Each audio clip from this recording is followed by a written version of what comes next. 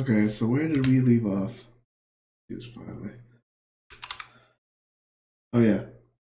So today we're gonna connect to our API. And first that means we need to generate a service. It's gonna go into services and it's gonna be called the API service. Alright, first let's get the URL. And I'm gonna store it in a private variable called API. We'll also need to inject the HTTP client, and for that, we need to import it from Angular Common slash HTTP. And let's just add a method to get all, which will return a http.get. That'll be this.api slash all. And we need to add one thing to our H app module, and that thing is going to be the HTTP client module. And that'll allow us to use the HTTP client in our application. Now to test this out, I'm just going to add it to the ng on init. First we need to import it, so private API service.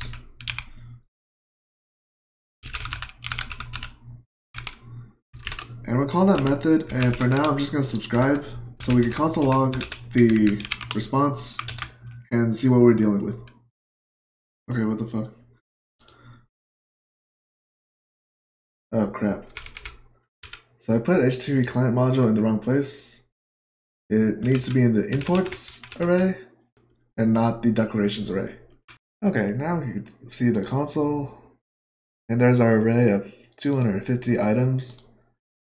And we have quite a bit of things in this object. Now this is where we're going to go to the documentation for the API. We're going to go all the way down and grab this response here. And I'm going to use QuickType to generate a type for us. That type file is going to live in its own directory. So I'm going to make a folder for all the types. And let's also add it. And this could be a d.ts, which is a type declaration file, or a .ts, which is just a normal TypeScript file. Either way is fine. But this is where you're going to paste all your generated types. And once you do, it'll be all of this. And we're going to use this throughout our application so that we can access the correct properties of the response object. And for now, I'm going to designate that get all countries returns an observable of country array. And you can do that with the angle bracket notation on the HTTP get. And at this point, I'm going to remove the API call from ng on init from our app component and generate some pages. So I want home and a detail page. It's also a component. But both of those components are going to live inside of a directory called pages. And it, these individual pages is where we're going to actually call the API service. Now that we have pages, let's add them to the route. So in our app routing module, we're to open up this array and add a couple pages. So for the root route, we want to render the components of home component. And then for the detail page, we'll add it to a path that takes in a route param of country. Now these components will be available to us through the router outlet that we've set up earlier. So let's open up the home component. And in here, this is where I want to inject the API service and call that same function. And we're going to do the same trick with the async pipe. So we'll set up an observable here for the country array. And we'll just set this dot countries to equal to the response. Now in the home component, I'm going to create an outer div for a container, but the inner div, we're going to loop through it using the ng-for directive. So we can do let country of countries. And of course we need to use the async pipe. And just to see if it works, let's do country dot name and in our app, here is basically everything that comes back. Now obviously it would be a good idea to make the country card its own component instead of just adding it here. So we'll generate a new component and I will call it country card. And we can open that up. Uh, let's open up the TypeScript file first. And we don't actually need the constructor or on init. This will be essentially a functional component. So all it will take is an input of country of type country. And in the templates, instead of rendering country card works, we'll make a div. We'll have an image of the flag, just a header for the country.name, and we'll add three paragraph tags for the attributes that we want to, to display. So that will be population, region, and capital. And I think before adding this to the home component, we'll need to add an ng if here, just in case country is undefined. So in the home component, we get rid of this div and replace it with the app country card. And we need to provide the country, so we'll set it equal to country. And there we are. Um, there's one thing that we need to fix, which is this population here doesn't have the commas for each thing. So we can add another pipe to population. So we got the number pipe that Angular provides us, and we just need to give it an argument of just like the unit value. So now we have the commas for each thousand, which is the intended result. There's one more thing I want to add, which is I want each country card to be a router link, and it's going to be two slash country name, and that will bring us to the detail page which right now I don't think works. So if we just click this, we all we get is detail works. So let's work on this. I think the appropriate thing is we need to update the API service and provide another method. This one is going to be get country by name, where we provide the name, which is a string. The route that we want to hit is going to be slash name slash name. as confusing as that could be. Now there's one problem. I know this because I did this ahead of time. But what get country by name returns to us is an array with only one item in it. And we actually want to fix that. So we'll add the pipe operator here. So we can remap the observable and get that very first array item. Which you can do like this. But I'm uh, going to do some array destruction inside the arguments and it's red because it doesn't know what it is. So let's specify that get gives us a country array and that should do it. All right, that's a lot of files open. So let's use this function inside of our detail component. We'll follow the same steps. So we need the API service. We're also gonna need something else. And this is unique to the Angular router. You get access to the route by using the activated route and inject it and then on init, we could access the params of the route. Now, params is an observable, so we'll have to subscribe. And with that params, we can call get country by name and provide the params.country. Because country is going to be the parameter that we set up earlier. Uh, basically this thing in the path. And I don't like doing nested subscribes, so we'll store the observable in a variable inside the class, country dollar sign will equal to that. And be sure to use this dot. And the detailed templates, we need to access the, the value inside of the observable. We'll pipe it through the async pipe, but then we'll assign that value to a variable that we're gonna, just gonna call country. And just test everything out, let's just try to render the flag. So here's our application. Let's just click on Albania. And there's our flag. Okay, so I don't remember what information we need on the detail page. So let's see, we need native name, population, region, subregion, capital, top level domain, currencies, and languages, and border countries. That seems easy enough. Let's let's add them in.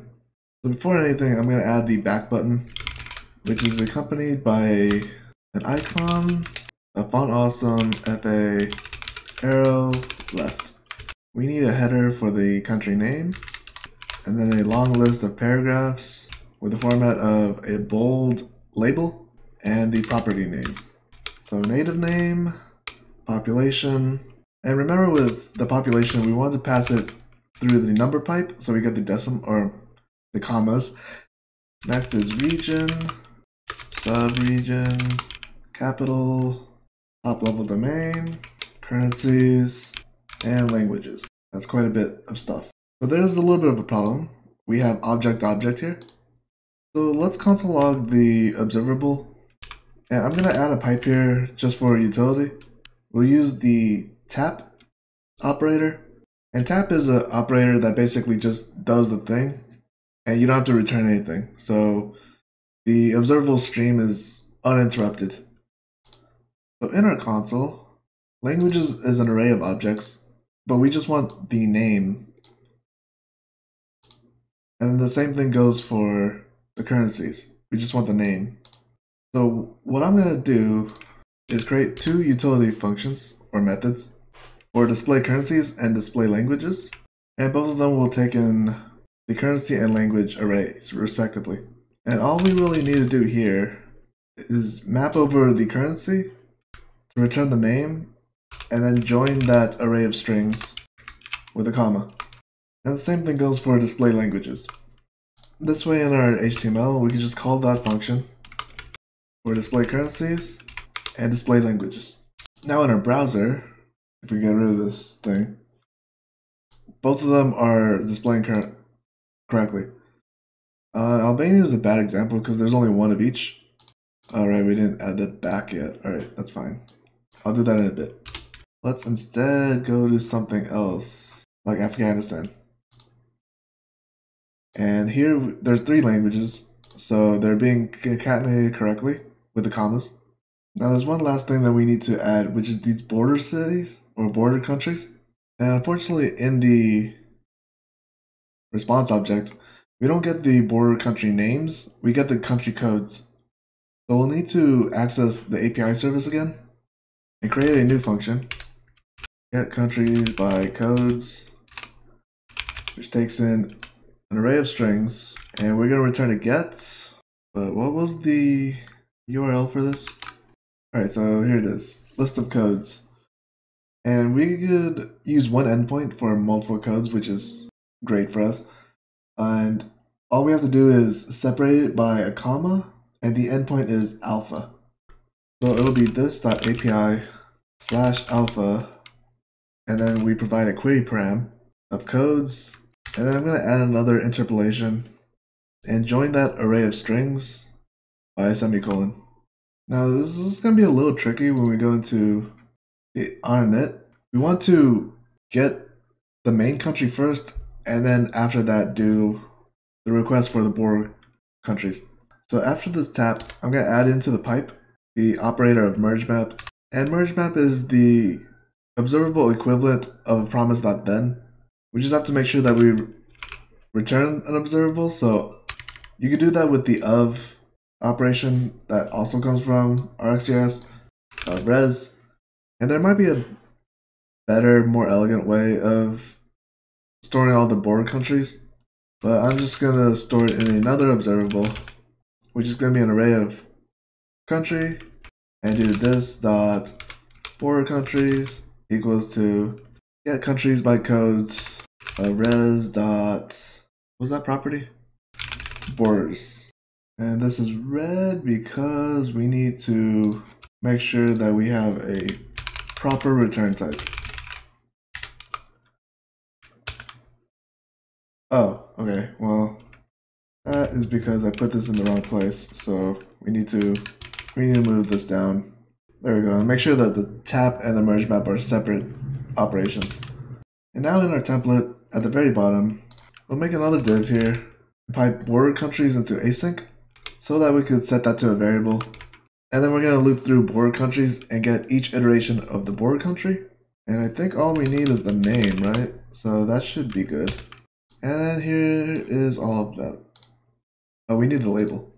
So I think I could just add this here and say border countries. Yeah, there we go. So this video is getting a little long, so I think I'm going to end it here. We did do a lot. We set up an observable stream to get all the data and display the correct data. In the next video, I think we'll start on styling. We'll definitely start with a detail page because it's going to be a lot easier. But yeah, I hope you guys enjoyed this video. And I'll see you all next time.